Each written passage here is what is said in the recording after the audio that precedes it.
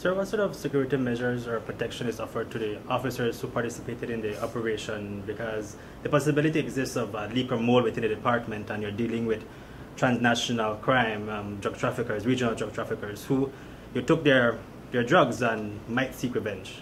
All the officers who partook in that operations were allowed to wear a mask. The only person who had no mask were myself and Mr. Brasta. And um, we're not afraid. No we signed for this. So that's how it goes.